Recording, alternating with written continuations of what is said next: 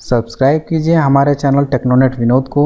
सामने bell icon को ज़रूर दबाइए लेटेस्ट वीडियोस की नोटिफिकेशन पाने के लिए। नमस्कार दोस्तों, आज के इस वीडियो में मैं आप लोग के लिए एक इंपॉर्टेंट वीडियो लेके आया हूँ इंपॉर्टेंट जानकारी लेके आया हूँ, जो कि आईटीआई के लिए भी इंपॉर्टेंट है आईटीआई के बच्चों के लिए भी इंपॉर्टेंट है।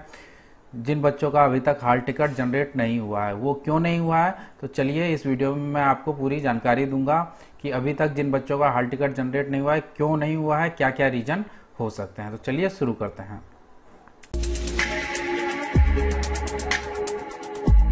तो दोस्तों, ये देखिए, एक मेल आया है डीजीटी की तरफ़ से हमें। आज शाम के करीब छः बजे के आसपास डीजीटी की तरफ़ से एक मेल रिसीव हुआ है। उसमें फिर से एक पोर्टल को ओपन किया गया है ट्रेनिंग वेरिफिकेशन के लिए ट्रेनिंग अप्रूवल के लिए और हाल टिकट एलिजिबिलिटी क्रिएशन के लिए। तो दोस्तों, यहाँ पे इस मेल में ये भी बताया गया है कि ए आई डबल टी दो हज़ार बाईस, जो अगस्त 2022 में परीक्षा होने वाली है, उसके हाल टिकट, प्रैक्टिकल के हाल टिकट ऑलरेडी कंप्लीट हो चुके हैं। हाल टिकट ऑलरेडी जनरेट कर दिए किए जा चुके हैं। जो भी एग्ज़ाम रिलेटेड जो भी एग्ज़ाम रिलेटेड एक्टिविटीज़ थी, वो सारी एन सी पे कंप्लीट हो चुकी है और प्रैक्टिकल के हाल टिकट जारी कर दिए गए हैं। अगर किसी को नहीं पता है तो ये जान ले कि हाल टिकट जो भी है, बच्चों के प्रैक्टिकल के हाल टिकट जारी हो चुके हैं। वो अपने एन सी पोर्टल को ओपन करके बच्चों के हाल टिकट को डाउनलोड कर सकता है, या फिर बच्चे अपने प्रोफ़ाइल से भी हाल टिकट को डाउनलोड कर सकते हैं। अब देखिए सेकेंड लाइन में ये क्या कह रहा है कि still some state are requesting for eligibility creation. कुछ स्टेट और आईटीआई वालों ने कंप्लेन किया था कि उनके बच्चों का हाल टिकट एलिजिबिलिटी के लिए जो है टाइम जो बढ़ाया गया था या टाइम दिया गया था, उस टाइम पीरियड में जो है उनका छूट गया है। या मान लीजिए उन्होंने एलिजिबिलिटी क्रिएट तो कर दिया है, अप्रूवल नहीं किया है। तो उसके लिए जो है, काफ़ी रिक्वेस्ट आई थी स्टेट वाल, की तरफ़ से भी गई थी, प्राइवेट आईटीआई वालों की तरफ़ से भी गई होंगी। तो उसके लिए तो और ये ये कह रहे हैं कि भाई जो भी ये अपना समय से टाइम अपने वर्क को कंप्लीट नहीं कर रहे हैं, चाहे आईटीआई वाले हों तो ये बच्चों के साथ खिलवाड़ कर रहे हैं। तो ऐसा नहीं होना चाहिए, जो भी टाइम पीरियड मिले, उस टाइम पीरियड के अंदर जो भी ट्रेनिंग से रिलेटेड एक्टिविटी जो भी कंप्लीट करनी होती है, चाहे उनके परीक्षा से रिलेटेड चाहे एडमिशन से रिलेटेड तो उसको टाइम टू टाइम कंप्लीट कर लेना चाहिए। ठीक है? तो यहाँ पे देखिए थर्ड लाइन में we are opening NCVT M S portal for training verification training approval eligibility creation for two days up to twenty third July 2022 1 PM ठीक है?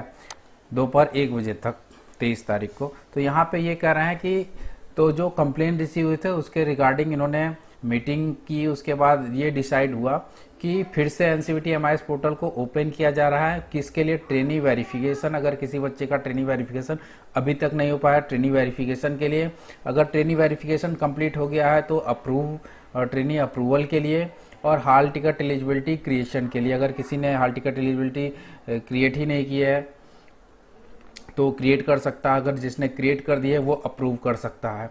और इसके लिए दो दिन का समय दिया जा रहा है। जैसे आज 21 तारीख है तो 22 और 23 23 तारीख को दोपहर एक बजे तक का समय दिया गया है।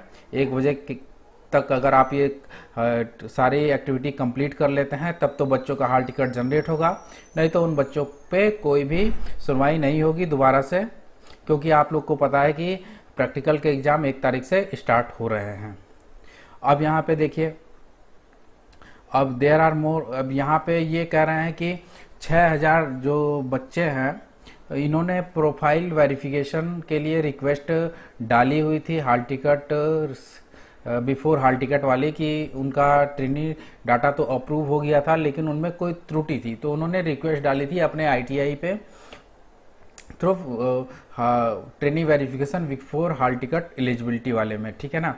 तो उसमें क्या हुआ है कि बच्चों ने तो रिक्वेस्ट डाल दी है, लेकिन उन्होंने आईटीआई को नहीं बताया कि सर हमने जिस भी आईटीआई में वो पढ़ते हैं, उन बच्चों को, उन आईटीआई को उन्होंने ये जानकारी नहीं दी कि सर हमने रिक्वेस्ट डाली हुई है कि हमारा ये इस चीज़ में त्रुटि था, हमने रिक्वेस्ट डाली है, उसको अप्रूव करना।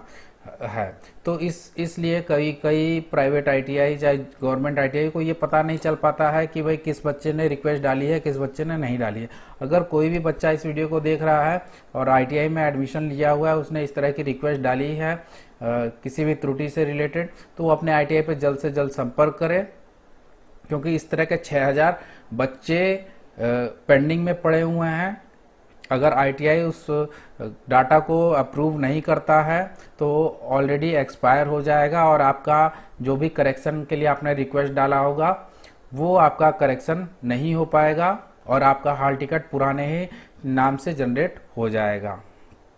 त्रुटि त्रुटि के साथ ही जनरेट हो जाएगा। तो इसको जल्द से जल्द अपने आईटीआई पे संपर्क करके उसको अप्रूव करा लें, जिससे कि आपका डाटा जो है संशोधन हो जाए और हाल टिकट जनरेट होने से पहले आपका जो भी त्रुटिपूर्ण डाटा है वो संशोधित हो जाए। ठीक है?